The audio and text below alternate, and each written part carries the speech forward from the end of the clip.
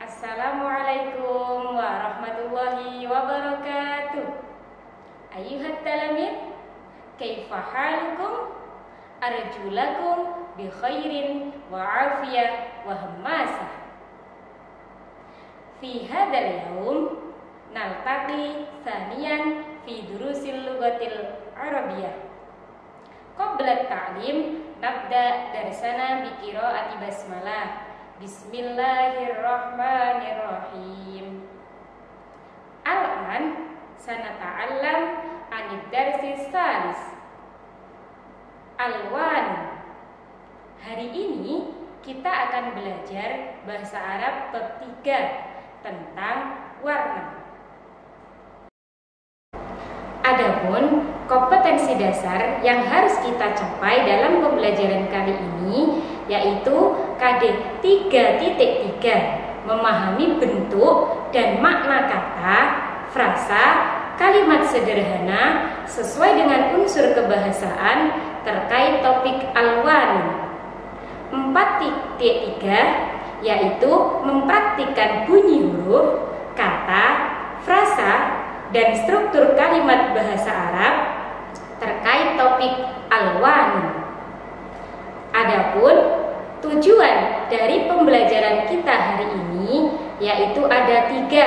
Yang pertama, anak-anak dapat memahami kata ataupun kalimat sederhana terkait alwan. Yang kedua, anak-anak dapat memahami struktur bahasa dalam kalimat bahasa Arab. Yang ketiga, anak-anak dapat mempraktikkan bunyi, kata, kalimat sederhana tentang alwan. Ayuhat talamin Al-an Umdur Masurah Fi warai ustadah Naam Suratu Muzahid Yaitu gambar pelangi. Lihatlah Gambar pelangi ini sangatlah indah. Sekarang mari kita sebutkan bersama-sama warna-warna dalam bahasa Arab.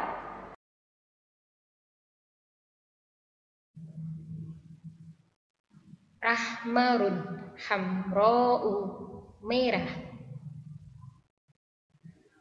Asfarun sofra'u kuning Akhdorun khadraun hijau. Azraqun zarqau biru. Burtuqalun jingga banafsajiyun ungu. Asmarun. Samra'u. Coklat. Aswadun. Saudaun. Hitam. Abyadun. Baydaun. Putih. Armadun romadiyun abu-abu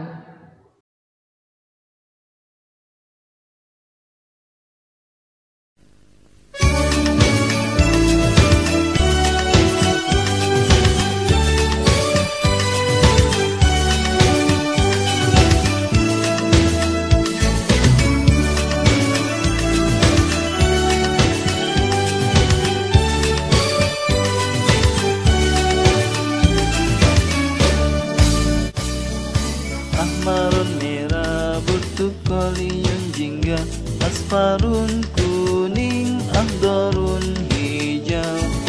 Azrakun biru Asmarun coklat Banafsajiyun ungu Romadiyun abu-abu. Hitam putih Aswadun abyadun. Hitam putih Aswadun abyadun. Hitam aswadun abyadun hitam putih aswadun abyadun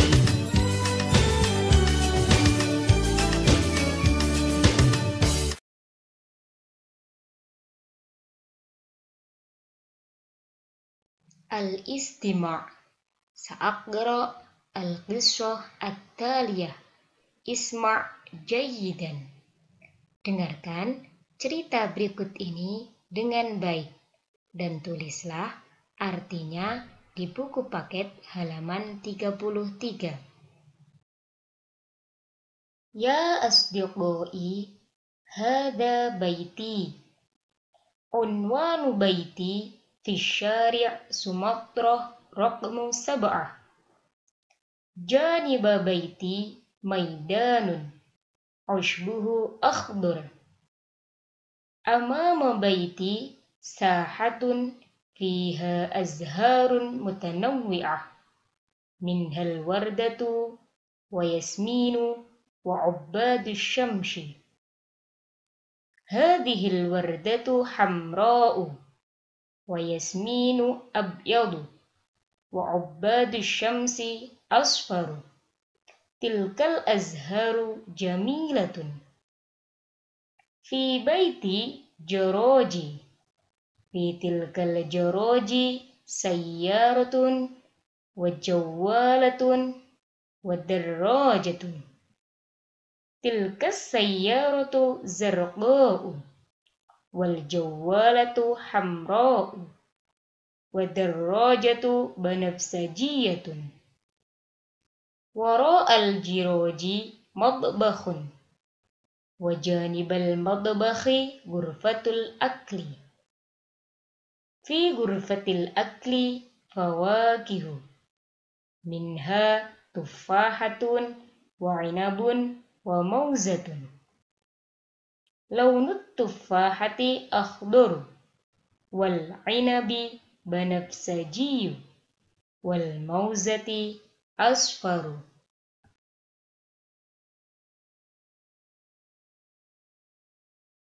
Sekarang, Ustazah, akan melanjutkan pembahasan tentang penggunaan warna dalam kalimat bahasa Arab. Diperhatikan dengan baik ya. Warna dalam bahasa Arab dibedakan menjadi dua jenis, yaitu mudzakkar dan muannas. Warna jenis mudzakkar yaitu ahmarun asfarun, akhdorun, azraqun, asmarun, armadun, aswadun, abyadun. Sedangkan warna jenis muannas yaitu hamra'u, sofra'un, khobra'un, zarqa'u, samra'u, romadiyun, sauda'un, bayda'un. Jika benda yang disifati adalah mudzakkar, maka warna yang digunakan juga jenis mudzakkar. Contoh, hadzal warqu akhdar. Dzalika thamaru asfaru. Adapun jika benda yang disifati adalah muannas, maka warna yang digunakan juga jenis muannas. Contoh, hadhihi zahratu hamra'u. Tilka romadiyun. Kata az-zahratu dan asyajaratu itu menunjukkan jenis muannas yang mana di akhir kata ditandai dengan adanya tak marbutoh jadi, warna yang digunakan juga harus berjenis muannas hamra'u romadiyun. Benda yang muannas apabila didahului kata launu, maka warna yang digunakan adalah jenis muzakkar, bukan jenis muannas. Perhatikan contoh-contoh berikut ini.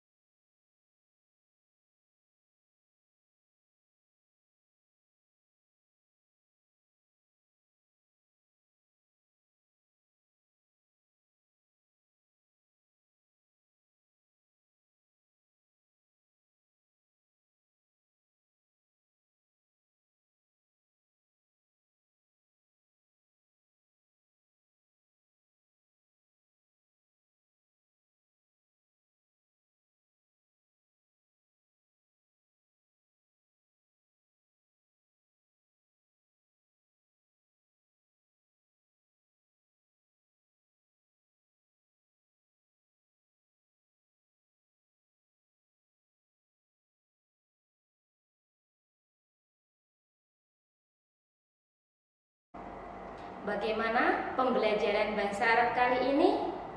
Sudah bisa kalian pahami keterangan Ustazah tadi? Semoga kalian bisa memahaminya dan menjadikan pembelajaran kali ini menjadikan pembelajaran yang menyenangkan. Jangan lupa tugas yang Ustazah berikan tadi dikerjakan ya. Tetap semangat belajar, dijaga sholat lima waktunya, dan jadilah anak yang solih nahbatim bi qiraati hamdalah. Alhamdulillahi rabbil alamin. Ustada akhiri assalamualaikum warahmatullahi wabarakatuh.